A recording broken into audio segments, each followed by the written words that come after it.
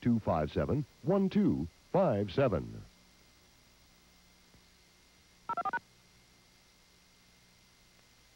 Business Travelers Advisory is brought to you by Thrifty Car Rental. For worldwide Thrifty reservations, call 1-800-4CARS. Good morning. I'm CNN meteorologist Valerie Voss. Two big storms to speak of today, one in the Midwest, the other one out across the Pacific Northwest. Here's your Business Travelers Advisory now for Thursday, November 10th. In the east, heavy thunderstorms with strong gusty winds will create delays in Cincinnati this morning, while equipment problems create 35-minute delays in Dayton. Gusty winds and approaching thunderstorms will also cause delays in Pittsburgh. Look for delays with heavy traffic and possible thundershowers later today in Atlanta. For the Midwest, Chicago airports are reporting 45-minute delays in heavy traffic and possible thundershowers this morning. And in the West, reduced visibilities in drizzle and fog may delay San Francisco travelers as the morning progresses. It's just about 7 a.m. in the east, 6 central. A complete weather update, all the news and sports, just ahead on CNN's Daybreak. When you rent from some car companies these days, you can really get soaked. That's why I'm ecstatic about Thrifty Car Rental. Their rates on new Chrysler cars certainly won't murder your wallet. Enjoy luxury and savings. The all-new Chrysler New Yorker, just $34.95 a day at Thrifty. No advance reservation required. Call Thrifty. They're thrifty price for everyone. Oh, and call me for dry cleaning. This is CNN, a network of Turner Broadcasting System. An oil tanker breaks in two and burns in the North Atlantic. The nation's B-1 bomber force is grounded until it passes inspection. An earthquake rattles a wide area of California. This is Daybreak on CNN for Thursday, November 10th. Today, a Liberian registered oil tanker with a crew of 27 has broken in two in the North Atlantic and the seas in the area are burning. A Russian weather ship is on the scene now, some 900 miles off Canada, where the tanker Odyssey is wallowing in heavy seas. Planes flying over say there are fires on the seas now. The Odyssey was en route to Canada from the Shetland Islands in Scotland. No indication what has happened to the 27-man crew or its nationality. John Mitchell, President Nixon's Attorney General who went to prison for his role in the Watergate scandal, died yesterday of a heart attack on the streets of Georgetown. He was 75. Mitchell collapsed while walking near his Washington, D.C. home in Georgetown. Mitchell had been convicted in 1975 of perjury and conspiring to cover up the White House involvement in the Watergate scandal. He served 19 months of a two to eight year prison term. Mitchell was Richard Nixon's law partner in New York City was considered to be the former president's closest friend and advisor. The former Nixon speechwriter Pat Buchanan described Mitchell as intensely loyal to Nixon. There was no, no breach, personal breach that I know of between the, uh, the two of them. Um, uh, as I say, John Mitchell um, uh, took his medicine like a real man in that, uh, that event back there 15 years ago. John Mitchell had directed President Nixon's reelection bid in 1972. The Air Force says a few B-1 bombers remain on alert this morning, ready to take off in the event of a nuclear war, but the rest are grounded, awaiting inspections ordered after one of the long-range craft crashed Tuesday in Texas. CNN's military affairs correspondent Carl Rochelle reports. The Air Force does not yet know what caused the fire in the B-1B that crashed Tuesday near Dyess Air Force Base, Texas, but it is temporarily grounding all 98 remaining B-1B bombers for a safety inspection. Officials say the inspection will concentrate on electrical, hydraulic, and fuel lines and will take about three hours per aircraft. Each plane will be returned to service following inspection. There are often problems with new aircraft, but the B-1B seems to be having more than its share. Just two weeks ago, a General Accounting Office study reported serious maintenance problems with the B-1 kept it on the ground more than half of the time it should have been flying. The first crash of a B-1B came in September of 1987 when a low-level practice bombing mission struck a Pelican. Three of the six-man crew perished in that accident. The Air Force says despite the grounding, it could fly the B-1s in an emergency. It will be working 24 hours a day and hopes to get all 98 aircraft inspected and back in the air within two to three days. But like past B-1 incidents, This one is likely to receive close scrutiny from the new Congress when it goes into session in January. Carl Rochelle, CNN, The Pentagon. People around the world last night marked the 50th anniversary of Kristallnacht, the night historians say the Holocaust began. In West Germany, the main observance at a Frankfurt synagogue was interrupted briefly when Chancellor Helmut Kohl addressed the audience as, My dear Jewish fellow citizens. Protesters shouted, We're citizens, not Jewish fellow citizens. In West Berlin, in Vienna, in cities in this country, people marched to mark the night in pre-war Germany when the Nazis burned synagogues, vandalized Jewish businesses, and sent thousands, tens of thousands, to concentration camps. A universal theme of the Kristallnacht anniversary is never again, never forget. What the response of the Jewish people has been after the Holocaust has been really to say that for every synagogue destroyed, we'll build another one, and for every scroll of the law that's been vandalized, we'll write another one. And for every one of the one and a half million children that were killed, uh, we will give birth to other children who we will raise and educate to be Jews. Crystal Night, or Night of Broken Glass, 50 years ago, November 9th, 1938. The U.S. Energy Department this morning reveals the probable site for its Super Collider, the world's largest atom smasher. The nearly $4.5 billion project is expected to create thousands of new jobs and generate a billion dollars in related contracts to the host state. Arizona, Colorado, Illinois, Michigan, North Carolina, Texas, and Tennessee are the seven states being considered for the site. Those states have spent years and millions of dollars on campaigns to win the project. The Super Collider will aid research into the nature of energy and matter. A moderate earthquake shook a wide area of northern and central California last night. It broke windows, knocked goods off store shelves, but there are no reports of injury or serious damage. The quake measured somewhere between 4.5 and 4.7 on the open-ended Richter scale and was centered about 11 miles northeast of San Jose on the Calaveras Fault. That is the same area where quake measuring 5 on the Richter scale hit last June. Authorities say this latest quake was felt over an area about 300 miles long and 100 miles across. It's five and a half minutes now past the hour. Coming up on Daybreak, we'll take a look at some strange happenings in the world of sports and tell you about the political changes in Washington, D.C. But first, let's check with CNN meteorologist Valerie Voss for a look at the nation's weather. Morning, Val. Good morning, Mary Anne. Not much change temperature-wise around the country, although there is a big change. A couple of weather systems we'll be talking about. 40s across northern Maine, 30s across the upper Mississippi River Valley, the Dakotas through Minnesota into Wisconsin and Michigan. A few 30s in the forecast across northern Idaho and Montana. 40s across much of the west, uh, except for western sections of Washington and Oregon. They will go into the 50s today. We'll also see 50s down into northern California, 60s along all of the coastal regions of California and central California, 50s and and 60s into the southern plain states today and the Texas Panhandle. That's cooler than it has been. And look for 60s and 70s across much of the Ohio Valley and the Mid-Atlantic ahead of the cold front that is bringing stormy weather to that region.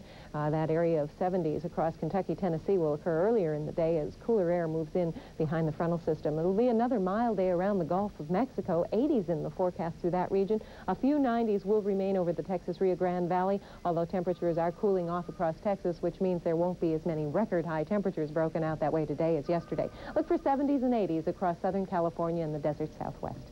Here's our forecast weather map now. Later in the day, a strong frontal system is moving through Washington and Oregon this morning. It'll move to the Rockies by later on today. The northeast mountains of Oregon above uh, 4,000 feet expecting about 4 inches of snow. 4 to 6 in the forecast for the Cascades, Siskiyous, Mount Shasta, also the Lake Tahoe region of California. Snow advisories in effect across all of those regions. The snow levels at Lake Tahoe about 6,000 feet. As that frontal system moves into the Rocky Mountains, it'll bring strong gusty winds with it and produce some snow. Snow advisories go into effect later today across some mountain regions in Wyoming and Colorado. Our frontal system in the east produced very stormy weather from Kansas and Oklahoma into Indiana and Ohio last night and overnight. As it continues to move eastward, rain showers and thunderstorms expected with it. Also very strong and gusty winds. There are high wind warnings in effect for western New York with winds expected 35 to 45 miles an hour. And a flash flood watch is in effect across southern lower Michigan this morning for some heavy rains that have been falling in that area. Farther north, in the northern sections of lower Michigan and the upper peninsula, we're expecting snow 6 to 10 inches. Here's your forecast now for some cities that we hope are close to you.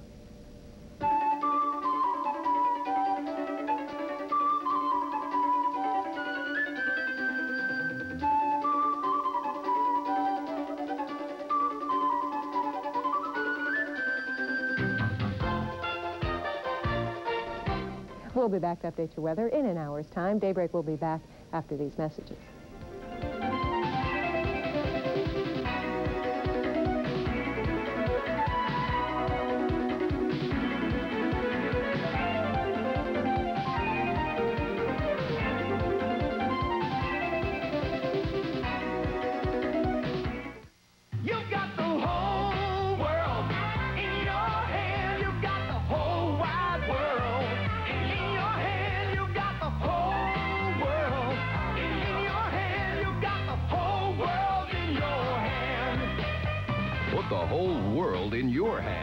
With Radio Shack's new portable cellular phone. A price and technology breakthrough. Only at Radio Shack, the technology store. So you called Koger, huh? Yeah, I called Koger. We got the same lease here we got in Richmond and San Antonio. You're kidding. Simple five-pager. No surprises. You pay for what you use. Maintenance. Full-time, on-site, like that. Get this. I got 50 people, 50 parking spaces right outside. If you're considering office space, call Koger. Across America, the one address that means business. I'm a seven iron from the office. uh, maybe a six. Easy six. To keep your business performing. Hello? We've lost some music. Konica fax machines deliver on the spot. When overnight just won't do. Konica facsimile saves the day. Now, they too have seen it. A dog food with a look and taste like no other. King Cuts. Tender cuts made with luscious lean meat. Dogs just go nuts for. King Cuts. The king of all dog foods. King Cuts. This is Howard Johnson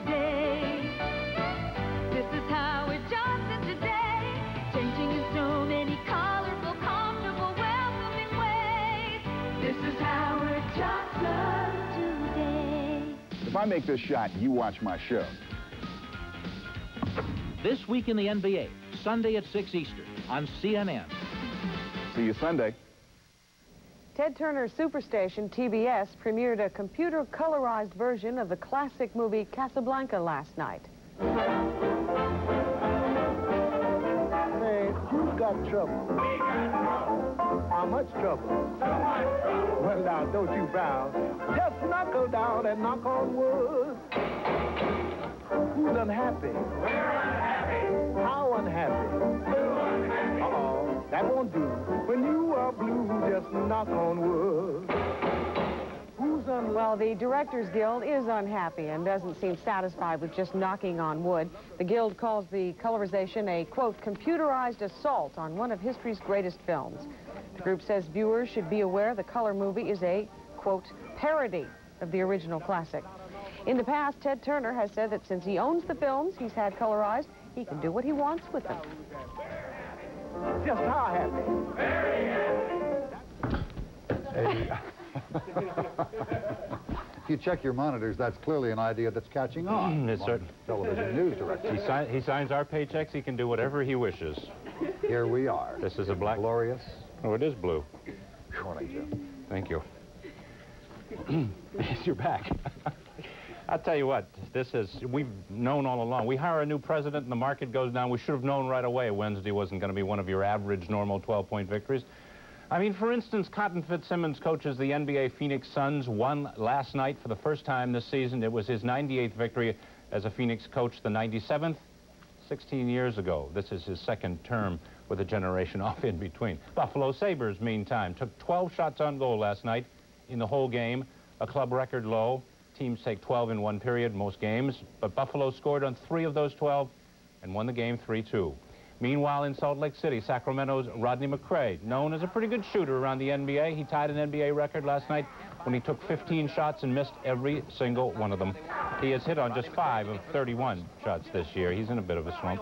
Meanwhile, in suburban Detroit, the Pistons beat the Hawks in overtime for one very simple reason. Their bench outscored Atlanta's 46 to 11.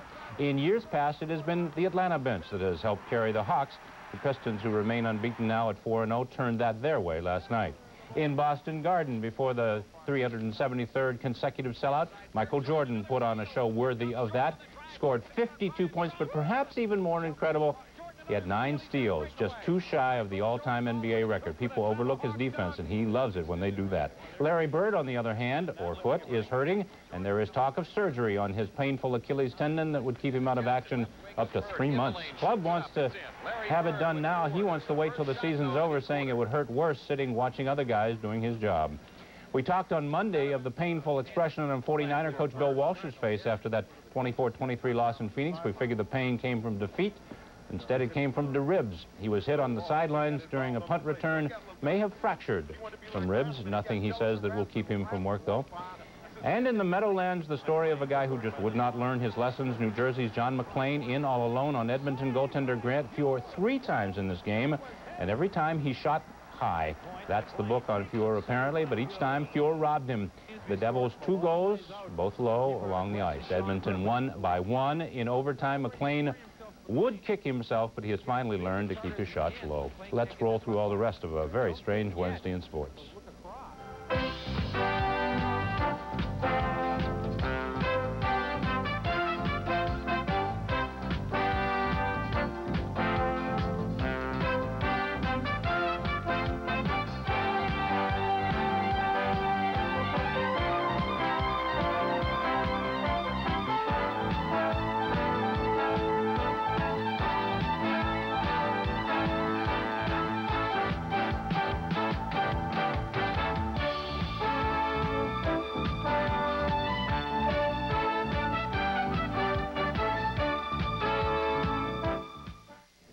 Sports next hour, including a commentary on the coaching overload. I'm Jim Huber, and the news continues right after this. Sports Update brought to you by Tempstar, the newest name in home heating and cooling. You can rely on the star. American ingenuity is finding a simple way to do a job well. At Tempstar, we applied our ingenuity to home heating. We invented a furnace that's 95.8% efficient. The ingenious part is that the technology is simple, proven reliable. Two heat exchangers instead of one, backed by a limited lifetime warranty. The Tempstar gas furnace, brought to you by your Tempstar dealer. I think the risk of being injured is higher in skiing than it is in many other sports. We were going down into the trees, and as we were cutting in, we'd all gotten our skis tangled up together, and that's when I'd fallen and really hurt my back. So they brought me over to the emergency room at the hospital. The doctors had given me some Tylenol to help the pain. Robert Koss trusts Tylenol, the pain reliever hospitals use most. It worked uh, when I needed it the most. Now try new gelatin-coated gel caps, only from Tylenol. The Gone Fishing sign will hang on the door to George Bush's office this weekend. The president-to-be begins a four-day vacation in Florida this afternoon, resting up after the long campaign and considering the makeup of his administration. Bush was welcomed at the White House yesterday by President Reagan. Before arriving, Bush announced that he's going to nominate his campaign chairman, James Baker, to become the new Secretary of State. Bush said the other cabinet appointments will be announced soon, but not until after the trip to Florida. He said he'll use the transition period to set priorities for the first 100 days in office. Having lost his bid for the Oval Office, Michael Dukakis returned to the governor's office in Boston. Dukakis said yesterday he gave it his best shot and was ready to put the presidential campaign behind him. He claimed, though, it was a campaign which had distorted his record and a campaign which, quote, may set a standard we live to regret. But he said he felt no bitterness toward George Bush and he will do whatever he can to help the new administration. Senator Lowell Weicker of Connecticut acknowledged the end to 18 years in the Senate in an emotional concession speech.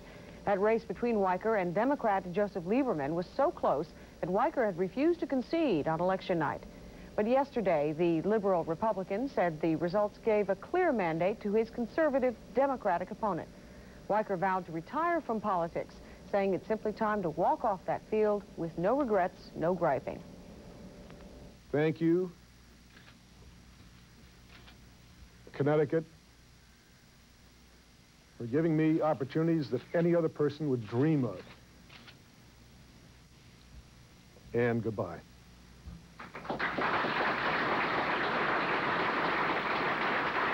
Weicker was well known in the Senate for his political independence.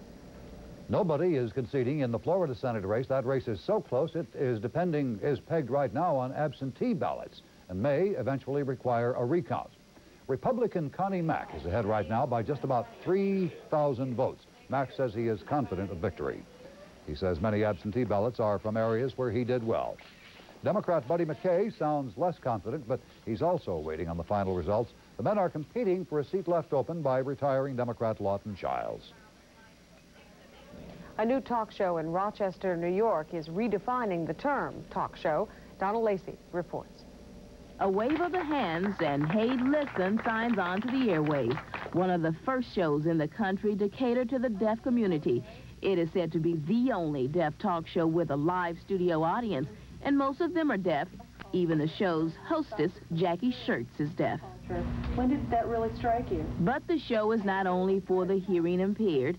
It is to build some understanding between them and the hearing world. This is a very good education for hearing people because they can learn more about deafness. It encourages a, a feeling of self-esteem among the deaf community.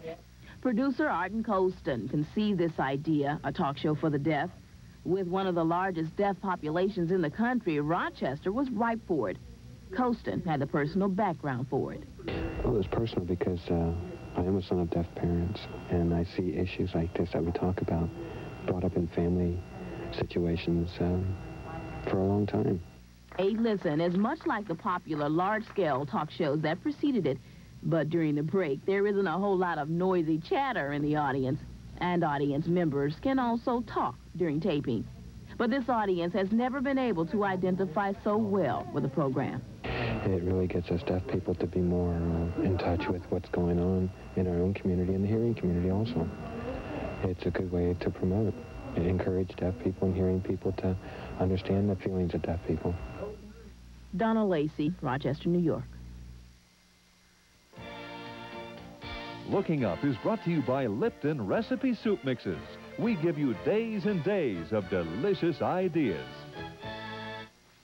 When you cook with Lipton, you dish up surprises every day. Lipton Recipe Soup Mix gives a new twist to all your family's old favorites. From dips to dinners, Lipton's special seasonings make the difference. With Lipton Recipe Soup Mix, you can turn any dish into a new idea. So what's cooking? Surprise!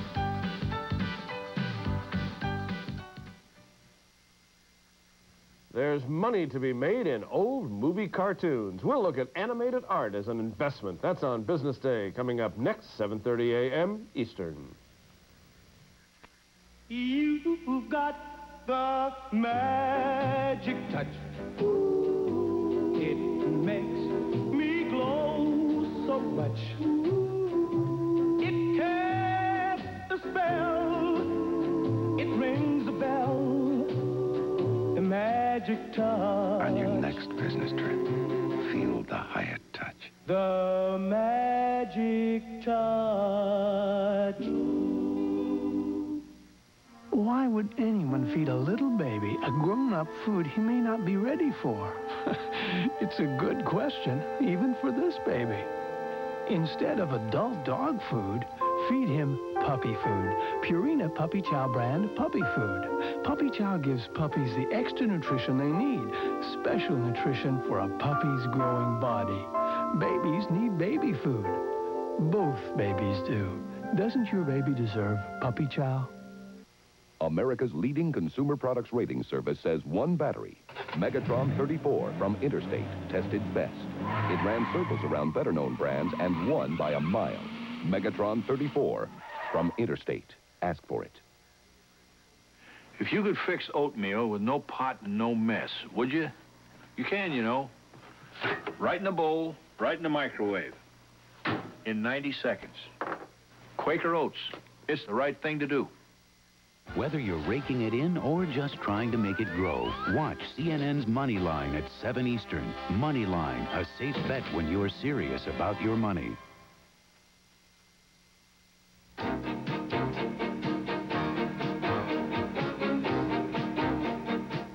We are currently suffering from the inertia of the 70s.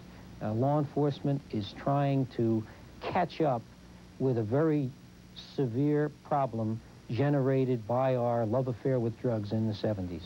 As head of the Drug Enforcement Agency, John Lawn is trying to reverse what he calls a permissive attitude toward drugs. Lawn says a related problem is that this is a nation in a hurry. We are a society used to uh, instant gratification.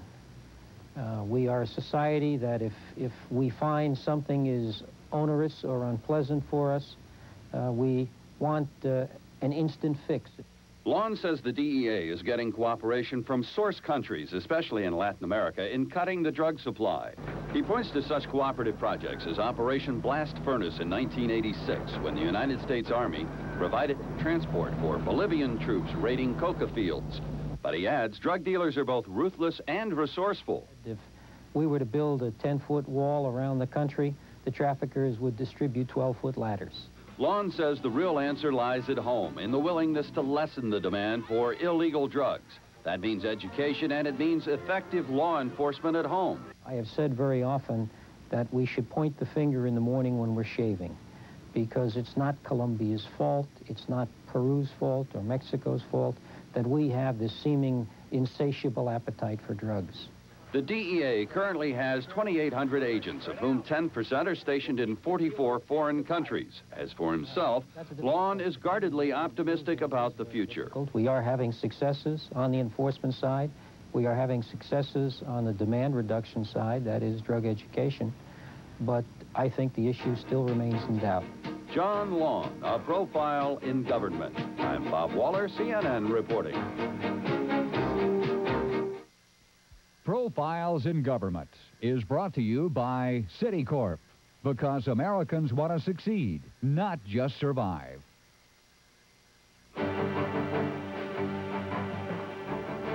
Ask every American the meaning of success, and you won't hear the same answer twice. Whatever your idea of succeeding, Citicorp and Citibank can help. With Citibank MasterCard and Visa cards, Citicorp Savings, Diners Club, and Citicorp Mortgage. We also serve millions of customers in every major marketplace worldwide. Citicorp, because Americans want to succeed, not just survive. Canadians go to the polls in 11 days, and a new survey suggests the race is much tighter than was first thought. The poll of nearly 1,300 people shows the Liberal Party, led by John Turner, has the edge with 37% of decided voters. But Prime Minister Brian Mulroney's Conservatives are close behind with 35%. The results of the Environics Research Group poll suggest the race is much closer than was indicated by a Gallup poll released on Monday. That Gallup poll gave the Liberals a 12-point lead. After a long bargaining session Tuesday night, the Canadian government has agreed in principle to give about 6,500 Indians in Canada compensation and ownership of about 1,600 square miles of land in the Yukon. Whit Fraser reports on the agreement that Indians say will allow them to retain age-old title to their land. The pressure of the federal election may have something to do with it. Cramming more than 20 people into a small hotel room for eight hours may also be a factor. But after 15 years, there is an agreement on land claims in the Yukon and Yukon Indians have never felt better about their future. When we speak or when we participate in Yukon life, people will not take us for granted anymore. That we will, they will realize that we do have a stake in the territory and that we are a group to, to be listened to, a group to be dealt with. I think a land claim settlement here in the Yukon means that we move into a new era of opportunity, equality, and uh, mutual respect between the two basic cultures in this community. Right in Whitehorse, you can see what a land settlement will mean. Yukon Indians have been at the very bottom of the economic scale. Recently, that standard of living has been improving. The local Indian band is developing a new community with modern housing. It's creating jobs for Native people. Across the territory, Indian bands say with $230 million over 15 years that an agreement will bring, there'll be more projects like this and better living conditions for all Native people. The deal has also meant that Yukon Indians will have to surrender their Aboriginal claim that once covered nearly all of the territory.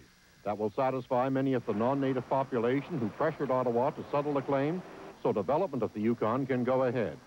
Not only will there be land for the beneficiaries of the agreement, there will be land for all Yukoners, and I believe that's a very important step. Like the Dene Métis claim signed in the Northwest Territories two months ago, this is a framework agreement. There are still long negotiations ahead selecting the land and working out the degree of self-government Native people will have over their communities. But the consensus is the hard part has been done and everybody, including Indian Affairs Minister Bill McKnight, agrees that not even a change of government on November 21st will detract from that. Whit Fraser, CBC News, Whitehorse. That's our report for now. A news update in about 15 minutes and more daybreak at the top of the hour. I'm Mary Anne Loughlin. I'm Bob Cain. Bill Hartley next with Business Day. Say, who's got trouble? We got trouble. How much trouble? So much trouble. Well, now, don't you frown. Just knuckle down and knock on wood.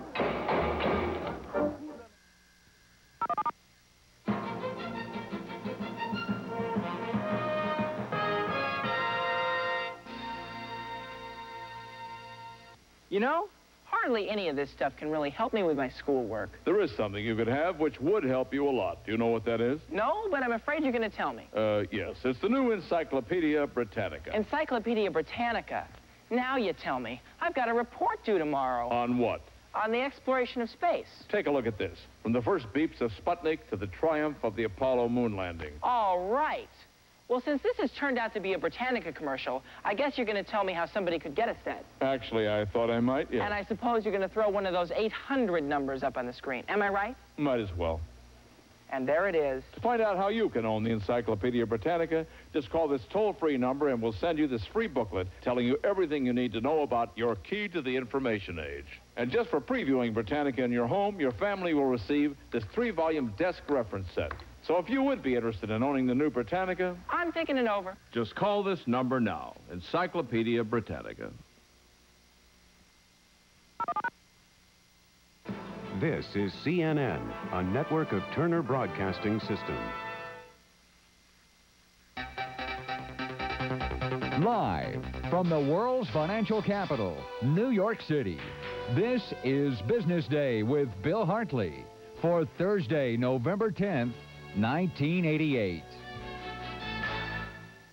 Good morning. The currency markets now seem to be coming used to George Bush. The dollar is steadying to slightly down this morning after a dizzying fall in New York yesterday. Markets had been expecting, even wanting a Bush victory, but when it came, coming with it were nagging doubts the Bush administration will not be able to do much to cut the twin trade and budget deficits. Then a Bush advisor and former White House aide, Martin Feldstein, tipped over the barrel, calling for a lower dollar. So just to stand still in terms of competitiveness with Japan, the dollar has to come down by five and a half to six percent this year. With Germany, about three and a half percent. So looking out over the next three years, we have to have at least a 10% decline in the value of the dollar. Well, that remark sent the greenback plunging. Then speculation the Federal Reserve might raise interest rates to stabilize the economy. And some strong evidence the Fed and the Bank of Japan were in the markets buying dollars firmed the currency. Here's where the greenback stands right now in European trading. It is down slightly against the Japanese yen, just below the 124 level. The dollar is weaker against the West German mark, about a third of a pfennig. Lower against the pound sterling, a dollar seventy-nine and a half cents. A dollar also down against the Swiss and French francs and trading at lower levels against the Canadian dollar. Trading in the credit markets, quiet. U.S. 30-year Treasury bond is off just one tick right now, and it yields exactly 9%. Despite concern about rising rates, yields actually fell at the latest Treasury auction. Yields on the $9.5 billion of 10-year notes dropped, uh, sold yesterday, dropped to their lowest level since February, 8.94%. That's down from 9.27% in the last auction. Government normally would be auctioning 30-year bonds today, but a bill authorizing their issue has not yet been signed by President Reagan. Instead, the Treasury will auction 11 billion in 37-day cash management bills. An unanswered question from Tuesday's election, who will replace Representative Fernand St-Germain, the defeated Rhode Island Democrat who chairs the House Banking Committee? That is a job some consider the most important in the 101st Congress. Deborah Marchini reports from Washington. Amount of the House Banking Committee will play a key role in the multi-billion dollar cleanup of the savings and loan industry. The fall of Congressman Fernand St-Germain leaves the chairman's seat vacant. First in line for that seat is Texas Democrat Henry Gonzalez. His state is the hardest hit by the thrift crisis, and he's been concerned that regulators aren't doing enough to fix it. Gonzalez has also criticized the Congress and the S&Ls for their part in the crisis. The Congress, with the best of intentions, provided the opportunity for this uh, scandal and the downfall of the S&L industry because of the high flyers and the speculators that were able and enabled to speculate with the insurance fund money. Gonzalez has proposed paying for the sins of those high flyers with a $50 billion loan from the Treasury, paid for by the industry and its customers. The industry has said it can't bear any more of the cost, but by and large it likes Gonzalez, saying he's voted with the S&Ls more often than against them. Most House Banking Committee members indicated they won't challenge Gonzalez for the post of chairman, but one hinted he might. A spokesman for New York Democrat John LaFalce says the congressman is taking a hard, serious look at the situation, saying the post could very well be the most important job in the 101st Congress. Deborah Marchini, CNN Business News, Washington. International stock markets are stabilizing today. Earlier this week in London, the uh, London Stock Exchange swung wildly up and down, but today the Financial Times 100 share index virtually unchanged, the index up just eight-tenths of a point. On the continent, the Paris Bourse has gained a quarter of a percent, the West German market down by one and a half percent. In Tokyo overnight, similar story, Nikkei average edging lower, down by 46 and one-third points. The first criminal charges have been filed in Japan's widening insider trading scandal. A former senior official of the Recruit Cosmos real estate firm has been charged with bribing a politician to soften his questioning about scandal in Parliament. The Japanese Prime Minister and the Finance Minister have been implicated in the scandal. Their former secretaries were among those who purchased Recruit Cosmos shares before they were sold on the Tokyo Stock Exchange. The battle for control of RJR Nabisco is escalating. Forstmann Little partner Theodore Forstmann sent a letter to Shearson Lehman Hutton accusing that firm of trying to derail a potential Forstmann bid for RJR. The letter came in response to one sent by Shearson CEO Peter Cohen. Cohen said Forstmann broke a promise not to pursue a bid for RJR. Well, in his letter, Forstmann also criticized Shearson's joint proposal with management to acquire the food and tobacco maker. A battle of letters. Grand Metropolitan says Pillsbury shareholders have tendered nearly three quarters of their stock to the British spirits maker. But Pillsbury still clutching its poison pill in hopes of staving off Grand Met. The pill prevents Grand Met from accepting any of that tendered stock. Grand Met has extended its $60 a share, that's a five and a quarter billion dollar offer for Pillsbury until this issue is resolved. Shareholder class action suit will be presented in court today to overturn the pill or at least force Pillsbury into negotiations with Grand Met. GTE will cut almost 7,000 jobs from its telephone division over the next four years. Reductions, part of an announced restructuring plan, will shave off about 8% of the company's domestic workforce. Most of the cuts will take place in middle management. GTE says the savings generated from the layoffs will lead to rate reductions for GTE customers. U.S. stocks in London turning in a mixed performance this morning as investors remain on edge from the dollar's jittery behavior. Amex up a half a point. The metals company says it will earn $8 a share this year, although much of that is reflected in one-time gains. Other gold stocks attracting interest as a result of the Amex rise, Echo Bay Mines and Homestake Mining each gaining an eighth. IBM off an eighth, Texas Instruments picking up an eighth. That's in anticipation of good news today coming out of an analyst meeting. You remember the cartoons you watched from darkened theater balconies so many years ago? Well, today, one frame of those is worth thousands of dollars. We'll talk about investing in animated art when Business Day returns.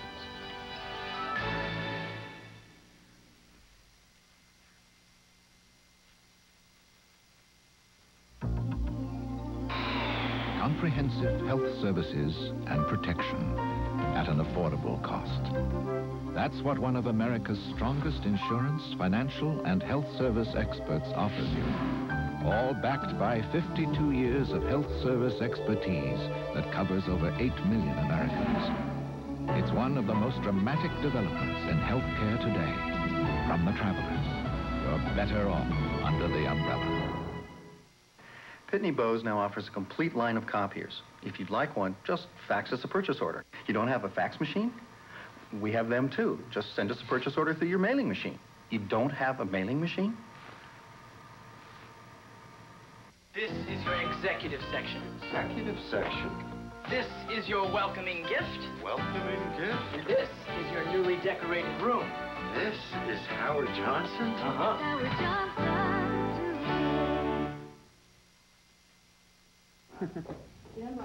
A federal grand jury indicted Drexel Burnham Lambert assistant trader Lisa Jones on eight counts of perjury and obstruction of justice. Jones is accused of lying during grand jury testimony in the government's investigation of Princeton Newport Partners. Last summer, Drexel trader Bruce Newberg, with whom Jones worked, was indicted on racketeering charges for executing false trades for tax benefit purposes. If convicted, Jones faces a maximum penalty of five years in prison and a fine of a quarter million dollars for each count. Two companies reaching settlements with customers this morning. Chubb will pay $48 million to farmers who sued this summer when their drought insurance was denied. And discount broker Charles Schwab taking a $2.5 million charge to cover refunds to customers it had used their securities without authorization.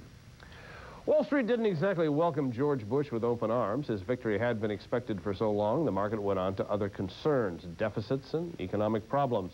Then a suggestion by Senate Republican leader Robert Dole that Congress eliminate interest deductions for loans used in corporate buyouts knocked out what few underpinnings remained in the market.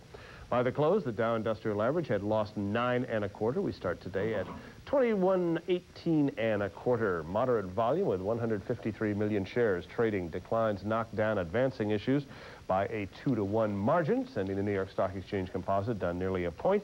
The American Stock Exchange Index fell three quarters of a point, and the over-the-counter NASDAQ Composite dropped one and a tenth. From time to time on Business Day, we turn to ways to make money through investments in uh, somewhat unorthodox items. Today, we are going to look at animated art, frames from cartoons you cheered on in movie theaters when you were a kid, at least I did. My guest this morning is Joshua Arfer. He is from Christie's, where an auction today will sell some 280 pieces of animated art. Joshua, welcome to Business Day. good morning. Well, okay, now first of all, let's figure, can I have that one? Great. What exactly are these? I mean, that's sure that's Mickey, but what exactly is it? Well, they are original hand-painted celluloids uh, used in the original film. They're, they're painted in gouache, which is a type of watercolor from reverse, and then shot over a watercolor master background. So this is just one frame of a cartoon? Uh, this is one of 1,400 original celluloids that make up one minute of film. 1,400 in one minute? That's correct. All right, the value of, of these items, how, how do you tell what's valuable? Uh, certainly what's cute, what's rare, and uh, the celluloids that we have that are, are actually from uh, very important productions. Okay, Uh, this is another Mickey Mouse. What makes this one this so is a very early Mickey Mouse. It predates Mickey's first color appearance. Uh, they are uh, some of the, the best works, uh, especially early Mickey, uh, because they're, as far as we know, only a handful of the original celluloid still around, paired with a master background. Uh, it certainly shows Mickey in his uh, most famous pose. He hasn't changed much, has he? Uh, no, he hasn't. this He's this sort of the developed. early 30s, you say? Uh, this is 1934. Huh, fascinating. Who buys? Who buys? Uh, who buys? Uh, it ranges many different collectors. There are those who have been collecting Disney art from the start. There are sort of a host of celebrities out there who certainly are collectors. People who uh, basically want to own a, a small part of their childhood, films that, that may, meant a lot to them growing up, uh, numbers of generations from 50-year-olds to 20-year-olds. And what kind of, of value would you assign to these? Uh, certainly because they're rare and we look for those pe uh, pieces that are vintage from the 30s, the 40s, and the 50s.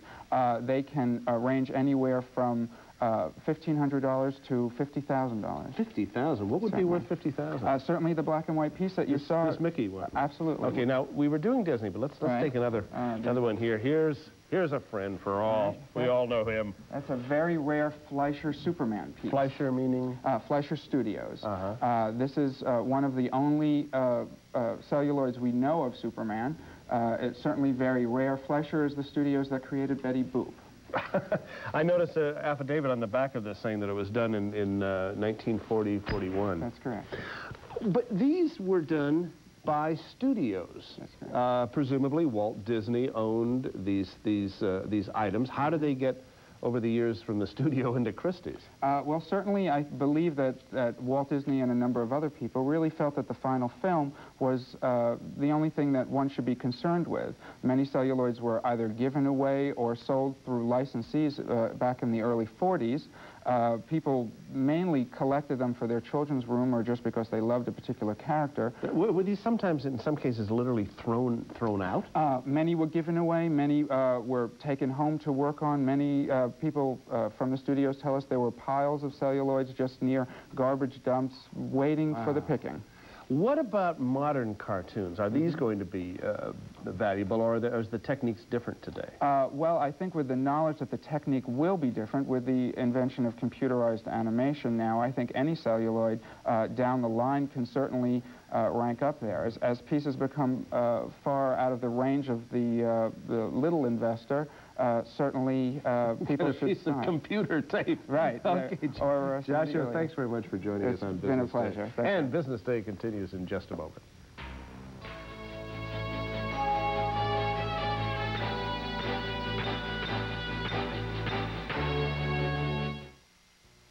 I'm in the room of a national motel chain.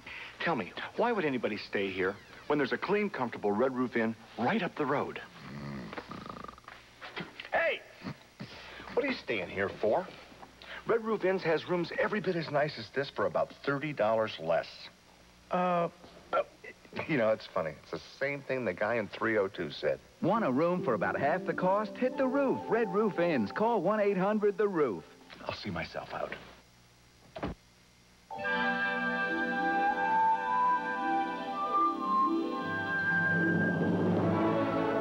Being a Mercury, Topaz not only knows how to hold people, but also how to hold the road.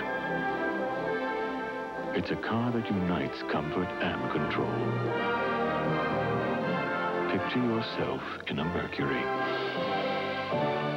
where comfort and control are one. What do you take for diarrhea? Ah, the old standby. If you're like most people, lots and lots of the old standby. Well, now there's something more advanced. Introducing Imodium AD, with a medicine now available without a prescription. So Imodium AD can often stop diarrhea with just one dose, instead of all the spoonfuls you may need of the leading remedy. One dose of Imodium AD. It can make your first attack of diarrhea your last. If I make this shot, you watch my show. This week in the NBA, Sunday at 6 Eastern on CNN. See you Sunday. Now for a look at this week's top performing mutual funds, our numbers come from Lipper Analytical Services, and these are funds tracked during the last 12 months. Columbia Special, three weeks in a row, turning in the best showing in the capital appreci appreciation sector. Columbia Special up 48%. The group average rose almost 13.5. Mutual Shares regains the number one seed with a gain of nearly 34%. In growth and income, the group average posted a 14.5% jump. Executive Investment High Yield maintains its lead in the fixed income area, up about 22.5%. That's better than twice the group average. And Templeton Global One also wins again in the global arena, rising nearly 30%. The group average up 16 and three quarters. It is now 14 minutes to the hour. Let's go to Reid Collins in Washington for the latest news headlines. Morning, Bill. There's a disaster in the North Atlantic this morning. The Liberian flag tanker Odyssey broke in half in stormy seas about 900 miles off Newfoundland.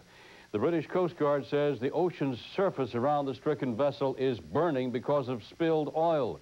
No word yet on the fate of the 27-man crew. The Air Force has grounded its fleet of advanced B-1B bombers for inspection. That move coming after the fiery crash of one B-1B on Tuesday in West Texas. Pentagon officials say the inspections will focus on the electrical, the hydraulic, and the fuel line systems. John Mitchell, the Attorney General in the Nixon administration who went to jail for his role in Watergate, has died at the age 75. Mitchell collapsed of a heart attack yesterday afternoon in Washington's Georgetown section. He was pronounced dead shortly after that at a Washington hospital. George and Barbara Bush went up to look at the new place yesterday under the gracious guidance of the current residents, Ronald and Nancy Reagan, soon to leave themselves for California. The winner of the presidential election had tabbed his first cabinet member, naming James Baker as the Secretary of State to be. Baker, longtime friend who had managed the Bush campaign, had served too as the Treasury Secretary as well as the White House Chief of Staff. Moderate earthquake shook parts of California during the night. It caused little damage, no reported injury. This quake was centered in the region just northeast of San Jose. Could be felt, though, for hundreds of miles along California's northern coast. Officials at the Geological Survey say this one measured four and a half on the Richter scale. Bill, that's a look at it from here. Thanks, Reid. Radio is not what it used to be, especially on the AM dial, where audience share has declined dramatically over the past two decades. For stereo sound, FM can't be beat. So to compete, uh, AM stations across the country are spicing up their programming. Woody Allen recaptured America's love affair with radio in his movie Radio Days. Pay more attention to your schoolwork and less to the radio. You always listen to the radio. It's different. Our lives are ruined already. You still have a chance to grow up and be somebody. But with the advent of television, the heyday of radio has waned, especially for AM stations. Last year, advertising sales for AM were $2 billion, but that compares to nearly 5 billion for FM. I think it's a safe assumption that AM is not doing as well as it has in the past, but I think that it's going to rebound. 15 years ago, nearly three quarters of the radio audience listened to AM. But today, industry sources figure only about a third is tuned in. That's because it's more difficult to transmit stereo sound on AM than it is on FM. So lately, AM stations are changing their programming to target a specific audience as a solution. New formats geared to money matters, all news, children, and the elderly, just to name a few. Our niche is sports, and uh, uh, not unlike any other format, when you're dealing with an adult audience, it takes a while to ga gain their attention and their, and their support. But uh, in just over a year's time, we've come a long way. We're uh, maybe that last bastion uh, for men and women who uh, want to just talk about sports because it's not that serious. It's fun. You don't know. You're a schnook. You're just calling up this show. You're a schnook. You don't know. I mean, what the hell do you know? Oh, Pete Franklin might insult his listeners, but regardless, he's helping to boost market share for WFAN in New York with his provocative afternoon show. And his isn't the only station that switched to a specialized format. WCVG in Cincinnati is going all the way with Elvis.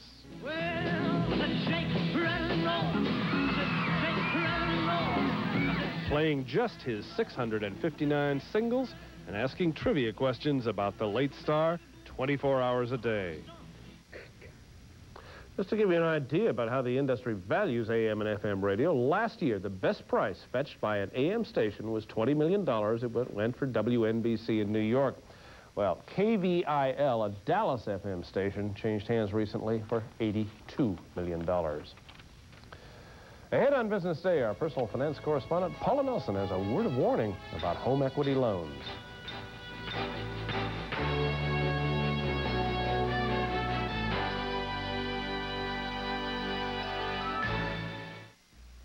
Behind every winner, there's a winner. Someone who helped make that victory possible.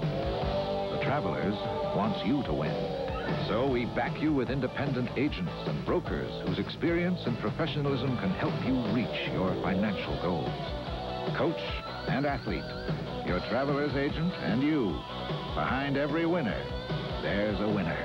The Traveler. You're better off under the umbrella. In all the world, no one watches TV, loves TV, or is more critical of TV than Americans.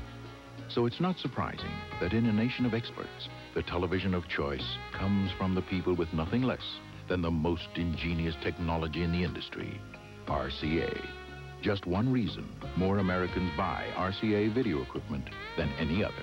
RCA, number one, with the toughest critics in the world.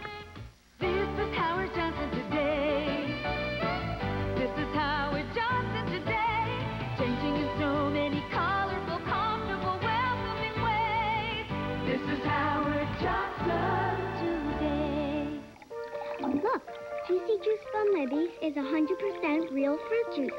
Other drinks are only 10% fruit juice. Kinda makes you wonder, what's the other 90%? Hmm? Juicy Juice is a juicier juice. On the left, Tom Braden. On the right, Pat Buchanan. Get caught up in the crossfire. Tonight at 7.30 Eastern on CNN. When tax reform eliminated over a period of time deducting interest on personal loans, ever resourceful taxpayers found a loophole where interest is still deductible, home equity loans. But our personal finance correspondent Paula Nelson's here to report that many people are putting their primary asset, their home, in peril. Sounds not good, Paula.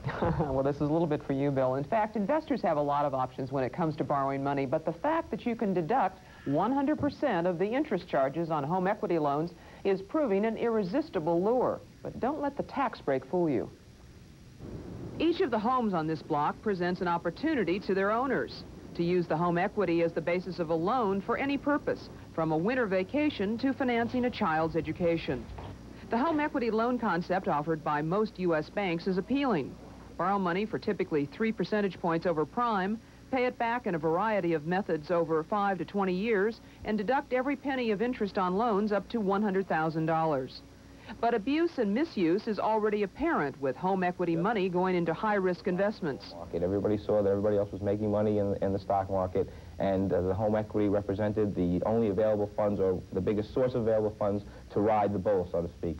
Um, as soon as the market uh, turned drastically in the other direction, we saw an increase in activity of uh, somewhat wealthier people uh, having to take equity out of their home to satisfy margin calls.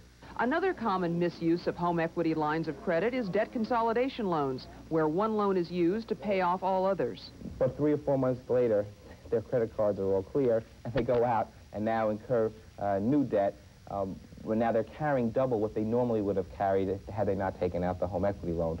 And uh, it, it, ultimately has to create a house of cards, so to speak. While no statistics are yet available on mortgage defaults caused by home equity failures, experts suggest that they should only be used for long-term purchases such as home improvements, college education, and medical emergencies. Knowing the terms is essential since the interest on an interest-only $10,000 10-year home equity loan can actually exceed the principal and then end up costing you over $20,000. Thanks, Paula.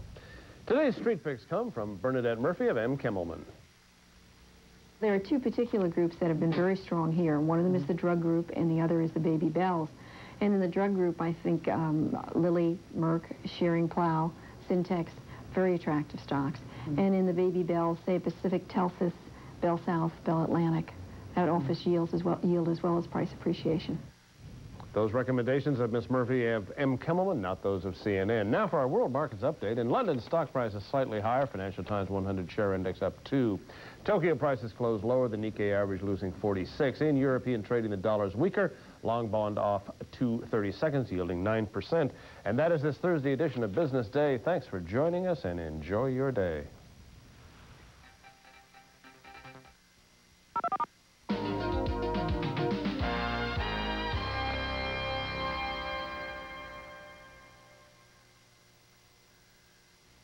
If you'd like to give a special gift to a boy or girl eight years old and up, get your pencil ready and write down this number because I've got just the answer for you. It's National Geographic World Magazines, published especially for kids by the National Geographic Society, the same people who produce world-famous National Geographic magazine. It brings real-life adventure, page after page of fascinating articles and pictures in National Geographic color on animals, outdoor adventure and science, sports, hobbies, and crafts. And yet, while it entertains, it fulfills curiosity, stimulates imagination, and encourages your youngsters to read more. Amazingly inexpensive, only $10.95 for 12 monthly issues in brilliant geographic color. Compare this once a month, 12 times a year gift to a single gift from a toy shop and you can see what a bargain this is. There's no fuss, no shopping, no wrapping, no shipping. You cannot get it at the newsstand or bookstore. You can only get it through the mail, and it's so easy to order. Just call with your young person's name and address today. Call 1-800-257-1257. That's 1-800-257-1257. Each issue has exciting surprises, puzzles to solve, games they can play with their friends, stories about remarkable kids, and often supersized pullouts to put on the wall. Now, what a marvelous gift for any young person. It pleases while it teaches. And when you call with your subscription order today, we'll also mail a special personalized gift card from you. So call now with your young person's address and your name for the gift card. Call 1-800-257-1257. That's 1-800-257-1257. 12 colorful issues with exciting games and puzzles, big supersized pullouts, and a card from you. This gift lasts a year. The benefits may last a lifetime.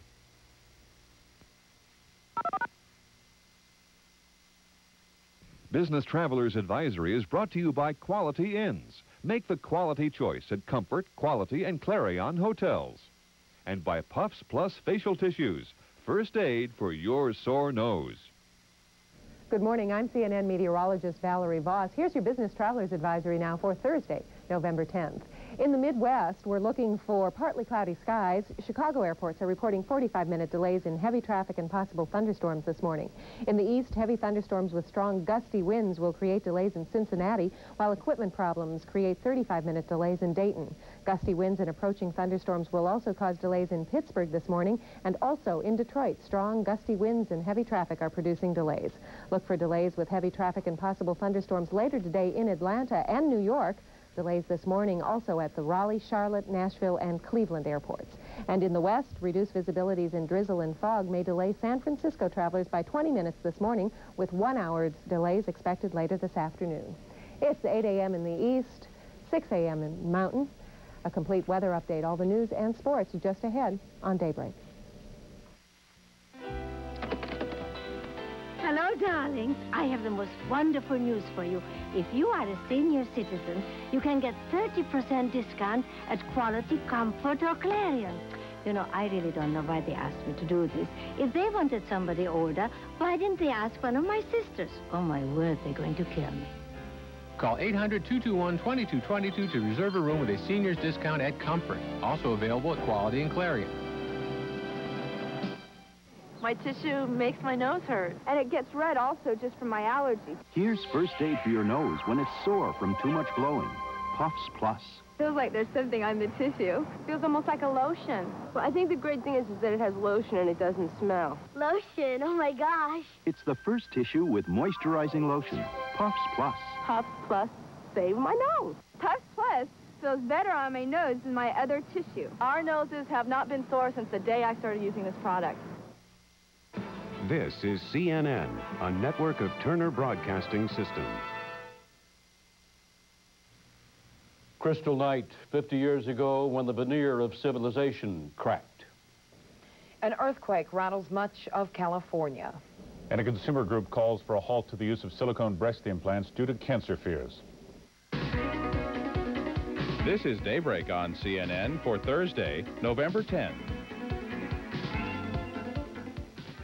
Today, Britain and Iran say they have agreed to resume full diplomatic relations. Under the agreement reached today in Vienna, an exchange of ambassadors will take place in about six months, but the relationship is restored as of now. Relations were downgraded in 1987 after a British diplomat was beaten up in Tehran, which was the reprisal for Britain's expulsion of an Iranian diplomat for shoplifting. The world paused yesterday to remember a night from 50 years ago when the Nazis of Germany seized on the slaying of a German by a Jew to embark on a night of anti-Semitic violence. Crystal Night it came to be called, named for the glass of Jewish shops and synagogues that litter the streets of the Third Reich. Last night in Atlanta, Georgia, it became the subject of an oratorio named Stars in the Dust. There are many who recall that night as the mild beginning of what was to come came in the door and they looked and they said, look at that Jewish pig. She has it all ready for us just to smash it up. And I, we knew that everything was going to be broken. And luckily my mother had the presence of mind to tell them, to show them our American visa and to tell them that we are under the protection of the American government. And at that point, the Germans still had respect of the written legal documents so they says, all right, we'll leave her stuff alone. We'll go downstairs to Mrs. Weinstock and smash her stuff. And then somebody called us and told us that the synagogue was burning. The remembrance spans the spectrum of religions. Last night, the bells of St. Patrick's Cathedral in New York tolled out the message. And in West Germany, Crystal Night was remembered also, as Brad White reports from Frankfurt. Chancellor Helmut Kohl said what happened in Germany 50 years ago is a source of deep shame for his country. Most Germans remained silent on November 9, 1938, when Nazi gangs looted Jewish stores and torched synagogues. At least 90 Jews were murdered that night, and 30,000 were dragged off to concentration camps. It was called the Crystal Night because of the glass from shattered windows, and that sound of breaking glass still echoes in many ears. I think this is really an issue for the entire human race, and so it's very important, I think, for everyone to uh, remember the lessons of history, the, the very sad lessons, the brutal lessons, as well as the happy lessons. German Jews led their countrymen in a day of atonement. Public officials condemned this horrifying chapter in German history and Chancellor Kohl found that he was the subject of condemnation. The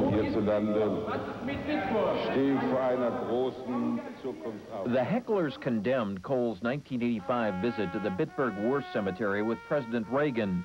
Many in the Jewish community feel the two leaders should not have visited Bitburg since it is the burial site for some of Hitler's SS troops.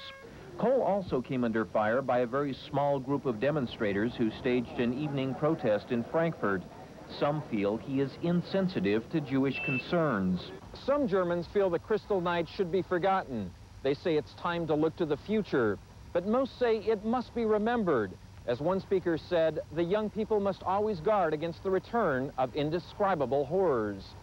Brad White, CNN, Frankfurt. The U.S. Air Force is grounding all B-1B bombers until they've been inspected. This after one of the expensive new planes crashed during a training flight from Dyess Air Force Base near Abilene, Texas on Tuesday. The four crewmen parachuted to safety.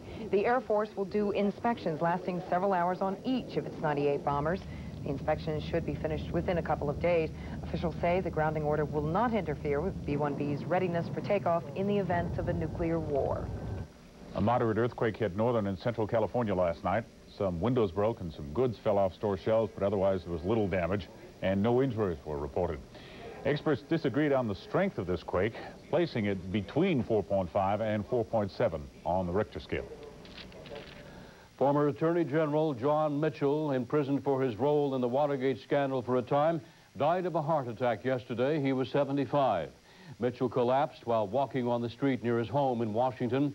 He had been convicted of perjury and conspiracy for covering up the White House role in the Watergate break-in. Mitchell and Richard Nixon were law partners in New York. When Mr. Nixon was elected president in 1968, he brought Mitchell with him to become Attorney General. In his memoirs, Richard Nixon wrote that John Mitchell was one of his few close personal friends. A consumer group is calling on the Food and Drug Administration to stop the use of all silicone gel breast implants immediately.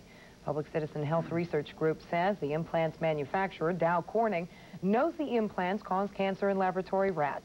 Dow Corning says its silicone gel implants are safe. About 130,000 women each year get the silicone gel implants, and the consumer group says they need to be warned about the risks. The FDA started a review of the implants that will take at least two years. The time is now six minutes past the hour. Just ahead here on Daybreak, the groundwork laid for the transition to a brand new team of people in the White House. And a brand new version of a classic film is aired. It puts Humphrey Bogart in a whole new light. but right now, CNN's meteorologist, Valerie Voss, joins us. Uh, she takes a look at Thursday's forecast. Valerie, good morning. Brian, good morning. Uh, not too many surprises as far as temperatures today. It will be cool over the upper Mississippi River Valley. Temperatures just in the 30s. Across the Dakotas, all of Minnesota, northern Wisconsin, and the upper peninsula of Michigan. Temperatures a bit milder in the east, 40s over northern Maine, but the rest of New England, the northeast, will go to the 50s today, with 60s just about touching the New York City area. Across the Ohio River Valley, parts of Kentucky and Tennessee, we're also calling for 60s and 70s. And we will see warmer air down across the Gulf Coast, 80s through that region with some 90s in the forecast across Texas. Out across the west, 50s also across Washington and Oregon, 50s and 60s also in uh, most of California, 60s for all of San Francisco, Los Angeles, San Diego, 70s and 80s through the southwest corner of the country. Let's take a look now at our forecast map for later on in the day. A big frontal system in the west, another big frontal system in the eastern part of the country.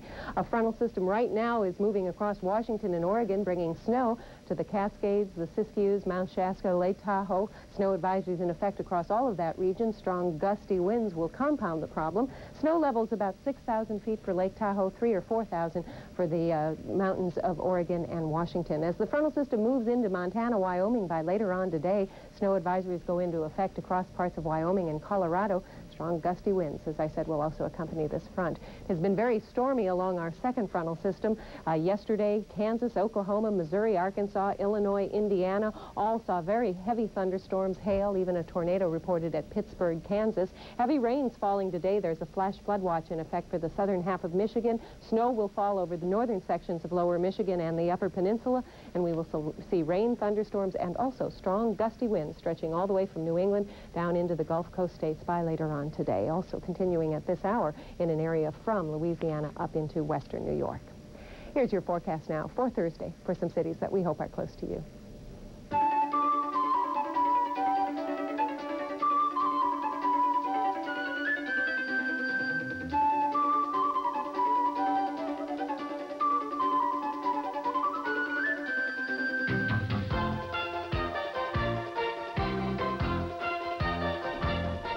Be back in about a half an hour, show you exactly where those thunderstorms are today on our national radar summary.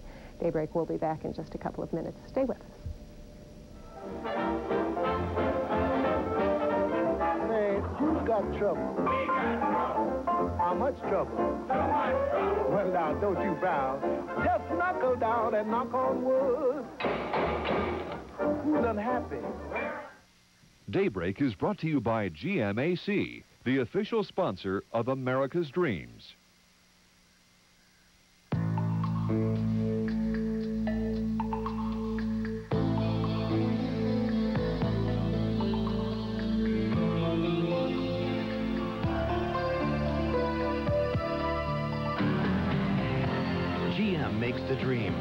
GMAC makes the dream yours. With either financing or smart lease, custom tailored to fit your budget. Right at your GM dealers. The dreams of America, GMAC. Now you got the right shoes for the walking woman. The new walking shoe. Now you got the right shoes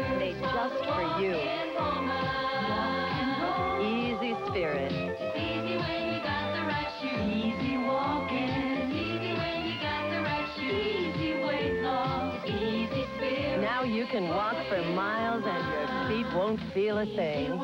Easy spirit. Call now.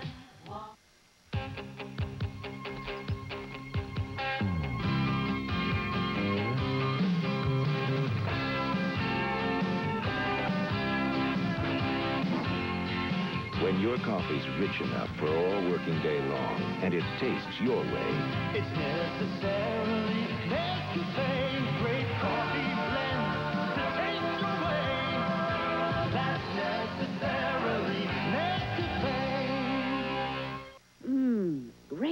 What is it?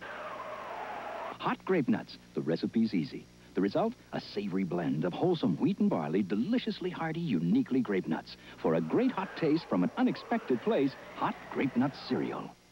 Stop Saturday morning television from treating you like a child. Honey, they did it to me again. Check CNN and stay informed. Well, not unexpectedly, the Directors Guild is seeing red over the colorization of Ted Turner's uh, black and white classic, not his black and white classic, but the classic, Casablanca. Superstation TBS aired that colorized version of the 1941 film starring Humphrey Bogart last night, and the Directors Guild says it is an assault on one of history's greatest and most beloved motion pictures. And it says viewers were seeing a computerized parody of the film that put Rick's Cafe on the map. Speaking of new. Blue, blue, blue shirt, pink in the cheeks. and a new light. It is uh, 12 minutes past the hour now. Hello. Hello. Good morning, Good Jim. morning. You're in for the sports desk. Speaking of new, you're talking about new faces. Speaking of new indeed, yeah, we've got a couple. The NBA has only been at work for less than a week now, but already there is talk of a new star emerging. And that talk actually flows into awe when they think of what this one will be when he is joined by David Robinson next year. Willie Anderson, the kid out of Georgia, did it all for San Antonio last night in an easy victory over the new Miami Heat. This alley-oop pass here to Alvin Robertson had new coach Larry Brown excited. After a block by Robertson, the rookie is off and running again. He was on the court all night long. He had 29 points, seven assists, five steals, was just everywhere. And you know that his teammates were enjoying it. In the third, again, it's Alvin Robertson with the feed to Anderson. He makes the nice turnaround jumper. And the Spurs are 2 and 1 and lead the Midwest. Miami still seeking its first franchise victory. So Anderson is off and flying, but put yourself in the shoes of Celtics number one draft choice Brian Shaw last night. All he had to do was guard Michael Jordan. And with eyes as big as saucers, Shaw watched the flying Chicago Bulls score 52 points and play defense to the tune of nine steals, just two off the NBA record. Shaw said later he's great on television, but boy, when you have a front row view, he is for real. What makes Jordan's 52 points scary last night is he says the team still has yet to run one single play for him this year. All those points come off broken plays and second options. Meanwhile, out west, the Lakers hung their second straight championship banner and then hung the Denver Nuggets. Byron Scott with one of his best games of his career, running the Laker break, scoring a game-high 33, doing it all as the Lakers won by 18, up their record to 3 and 1 on this young season. Let's roll through all of last night's scoreboard now.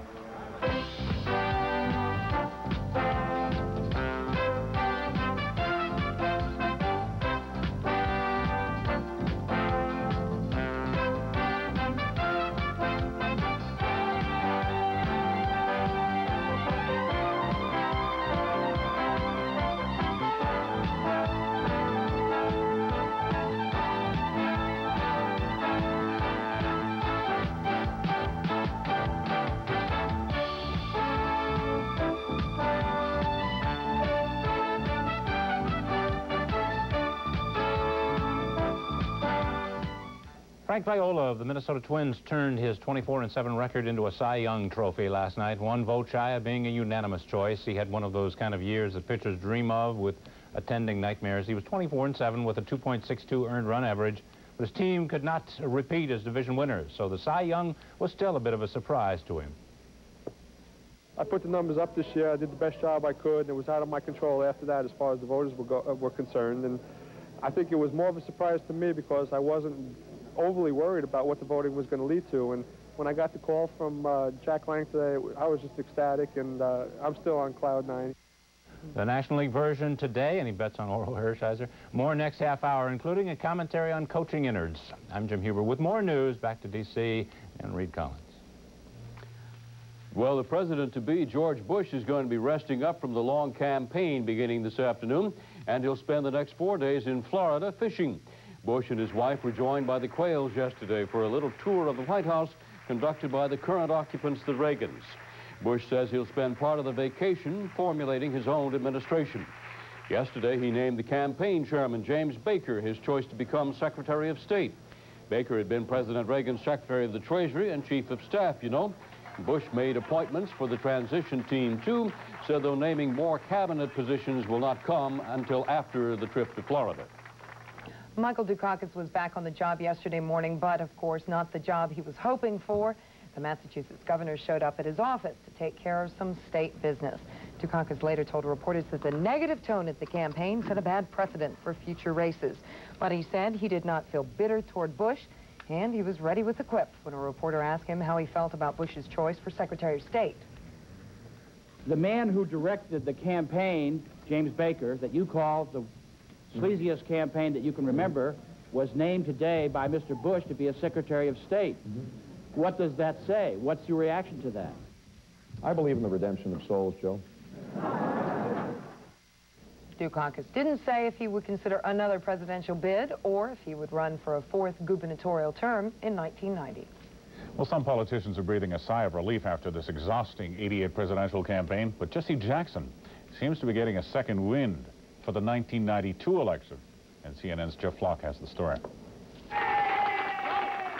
Jesse Jackson says he did all he could to get Michael Dukakis elected. People who need justice. Yeah. I want to vote Dukakis.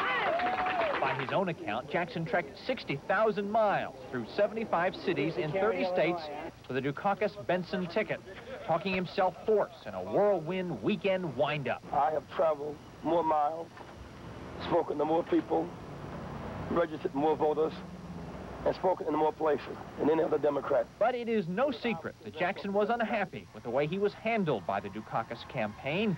And in an interview with CNN, Jackson lamented that Dukakis was too late in taking Jackson's advice to roll up his sleeves and defend the liberal Democratic tradition. When you agree to support someone, you have to support them uh, advisedly and let them accept what they will accept when they will accept it. Jackson was the number two vote getter in the 1988 Democratic primaries. In some eyes, that makes him the early front runner for the 1992 campaign. Uh, looking ahead to 1992, I know you're going to tell me it's too early, but you're It not, is. You're not ready to rule that out. Of course not, but it's, it's, it's certainly premature. People have had their fill of presidential politics in 1988. I certainly have. For now, perhaps. But few doubt that he intends to be a presidential candidate again. Ahead in the near term for Jackson, gaining control of more of the Democratic Party apparatus, registering more voters, and answering questions about his presidential plan. I have not yet made the decision, not even given it serious consideration. Unlikely for Jackson is a run for any other office between now and 1992. Jackson has ruled out a try for mayor in Chicago in this winter's upcoming election. He is a man who apparently has his eye on just one political office.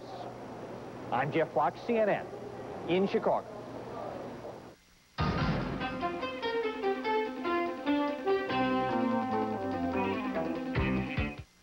Announcing a dramatic breakthrough in shaving technology. The new Remington Microscreen Ultimate shaves as close as a blade.